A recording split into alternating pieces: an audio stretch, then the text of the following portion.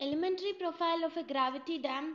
When reservoir is full, there are no other forces acting on the dam except the water pressure which acts at h by 3 from the bottom. Then the profile of the dam is in the shape of a triangle variation same as the hydrostatic pressure. Width is 0 at the top and say B width at the bottom. This profile is called the elementary profile of a gravity dam in which weight acts at the centroid of the triangle that is 2h by 3 from the toe or sorry b by 3 that is b by 3 from the heel or 2 by 3b from the toe. And the upstream on the upstream face let us say height of water is h on the downstream phase, no water is present. Uplift pressure on the upstream phase will be gamma W into H. On the downstream phase, it, it equates to 0. Then the resultant uplift force acts at B by 3 from the heel. Considering the forces acting on this dam nerve, vertical forces will be W minus the uplift force. Horizontal forces will be only the water pressure. Weight of the dam will be equal to volume that is area into unit length if we consider area is half into base into height into unit length into density of concrete say gamma C that is equal to B into H into gamma W into say specific gravity of concrete is SC by 2 this is W and uplift uplift force will be half into base is B into height is gamma W into H is the area of the pressure uplift pressure diagram. And water pressure will be equal to half into the base ordinate is gamma W into H. So gamma W into H into capital H is the height. Now the vertical force sigma V will be equal to W minus U that is half into base into height into gamma W into density of concrete minus half into base into height into gamma W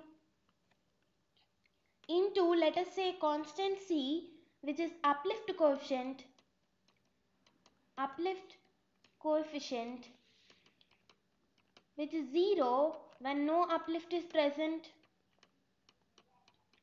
and is equal to 1 when full uplift is present.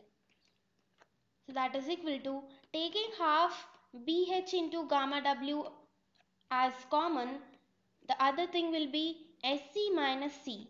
This is sigma V.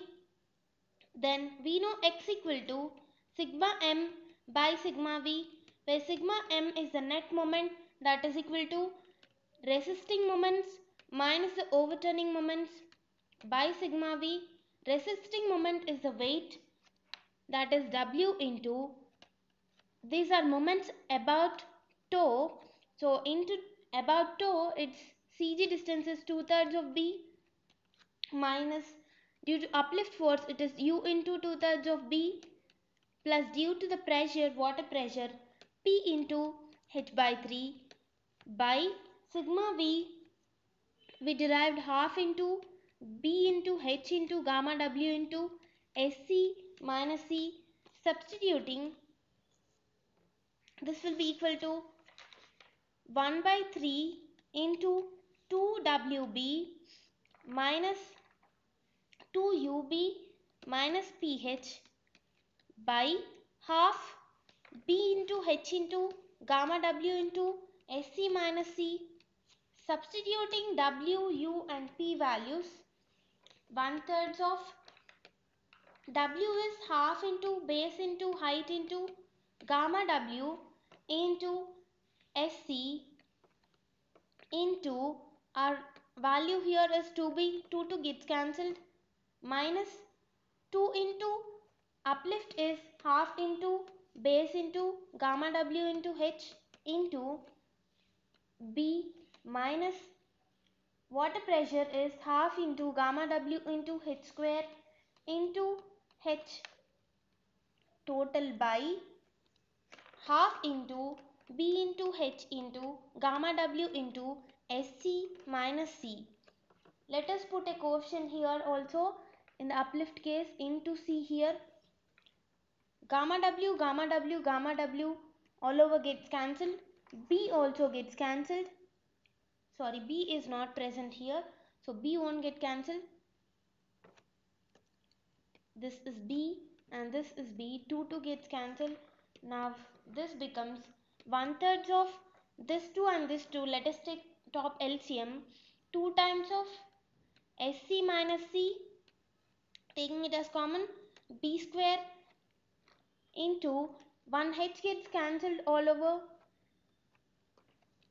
minus h square remains by b into sc minus c will remain which is equal to x is equal to 2 thirds of b minus h square by 3b into sc minus c is our e now. This is our x. We know e equal to b by 2 minus x. That is equal to b by 2 minus 2 thirds of b minus of minus becomes plus h square by 3b into sc minus c. Then this will be equal to h square by 3b into sc minus c minus b by 6 from the middle third rule we know e should be less than or equal to b by 6 from middle third rule So our E obtained is h square by 3b into sc minus c minus b by 6 should be less than or equal to b by 6. That implies h square by 3b into sc minus c should be less than or equal to b by 3. From this 3 3 gets cancelled. We know b square will be greater than or equal to h square by sc minus c. That implies B will be greater than or equal to h by under root of SC minus C.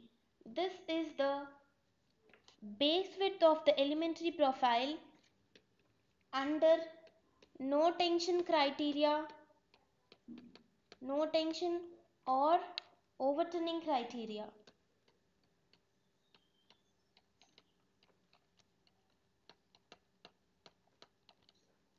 We know E is equal to h square by 3b into sc minus c minus b by 6. We got b as h by under root of sc minus c. Substituting b square will be equal to h square by sc minus c. This is sc Substituting this here, h square by sc minus c is b square by 3b minus b by 6. When b gets cancelled, taking LCM, this will be equal to b by 6. So, E is equal to b by 6. And we know principal stresses sigma will be equal to P max into secant square alpha minus P dash into tan square alpha where if no water is present on downstream, P dash will be 0 and this will be P max into secant square alpha and tau will be P max minus P dash is 0. So P max tan alpha. Let us find P max first. We know P max will be equal to sigma V by B into 1 plus 6C by B. Substituting sigma V is half into B into H into gamma W into SC minus C by B into 1 plus 6 into E is B by 6 by B. 6 6 gets cancelled, BB gets cancelled. This will be 2. This 2, this B and this B gets cancelled. Half into H into gamma W into SC minus C into 2. 2 2 gets cancelled. So our P max will be equal to H into gamma W into SC minus C. Now principal stress is sigma will be P max that is H into gamma W into SC minus C into secant square alpha. We know the elementary profile is a triangular variation, right angle triangle and in which this angle is our alpha, this is height of the dam and this is B. From this tan alpha will be equal to B by H. We know secant square alpha minus tan square alpha is equal to 1 from this H into gamma W into SC minus C into this can be written as 1 plus tan square alpha. That is equal to h into gamma w into sc minus c into 1 plus tan alpha is b by h. So it is b square by h square that is equal to since we know b is b is, is greater than or equal to h by under root of sc minus c from this b square will be equal to h square by sc minus c substituting h into gamma w into SC minus C into 1 plus B is H square by from this B square by H square will be equal to 1 by SC minus C. So substituting this is 1 by SC minus C. Taking LCM that is equal to H into gamma W into SC minus C into LCM will be SC minus C plus 1 by SC minus C SC minus C gets cancelled then sigma will be equal to H into gamma W into SC minus C plus 1. Similarly tau is equal to P max into tan alpha. P max is obtained as gamma into H gamma W into H into SC minus C into tan alpha is B by H. We know B is greater than or equal to h by under root of sc minus c substituting gamma w into h into sc minus c into b is h by under root of sc minus c into in denominator when h is there. H h gets cancelled. One root gets cancelled. Then tau will be equal to gamma w into h into under root of sc minus c. And considering other criteria that is sliding criteria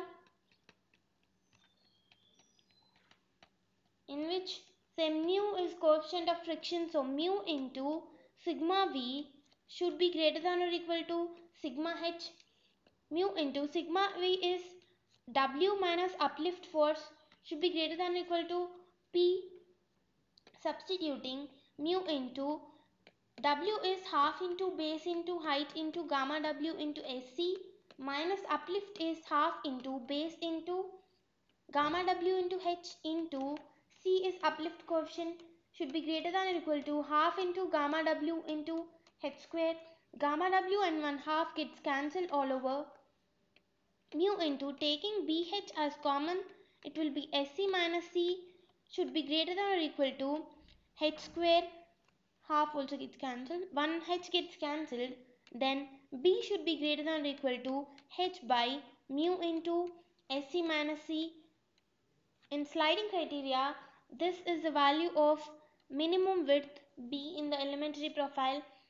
All these conditions are when reservoir is full. If reservoir is empty reservoir is empty then the only forces acting on the dam will be the weight of the dam, weight of the dam and which acts at B by 3 from heel or 2B by 3 from toe. This is heel and this is toe.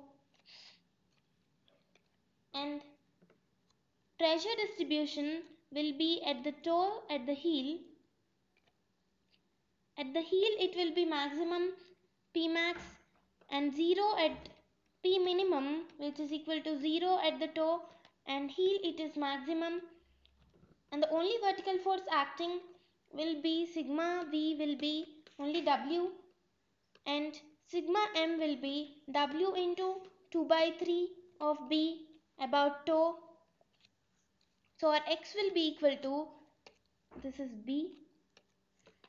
So our x will be equal to sigma m by sigma v that is equal to 2 thirds of b. Then b will be b by 2 minus x that is e will be equal to b by 2 minus 2 thirds of b which is equal to b by 6. So no tension criteria in which Pmax will be equal to sigma v by sigma b into 1 plus 6e by b. Sigma v is w so w by b into 1 plus 6 into e is b by 6 by b. b, b and 6, 6 gets cancelled. So it is equal to 2w by b p minimum is 0 which is equal to 2 by b into w is half into base into height into density of water into concrete SC that is specific gravity of concrete BB gets cancelled so Pmax will be H into gamma W into SC.